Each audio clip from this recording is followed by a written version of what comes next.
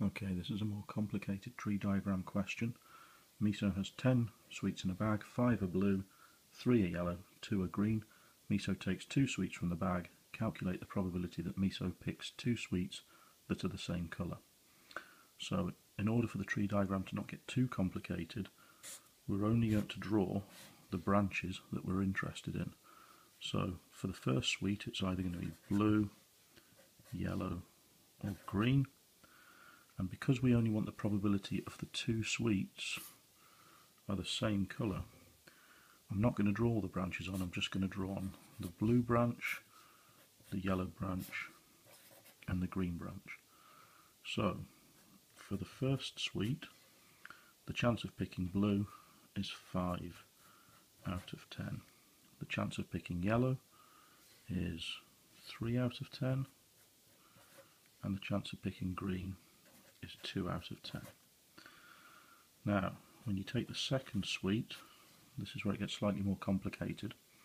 If you've already taken a blue out of the bag, there's only 4 blue sweets left. And if you've already removed a sweet, there's not 10 in the bag anymore, there's only 9, so this fraction's out of 9. Likewise here, there were 3 yellow, there'll only be 2 left now, and that's out of 9 as well and if you picked a green first time the chances of picking a green second time there's only one left in and that's out of nine sweets altogether. So we times along the lines so for this combination we've got 5 tenths times by 4 ninths which is 20 ninetieths.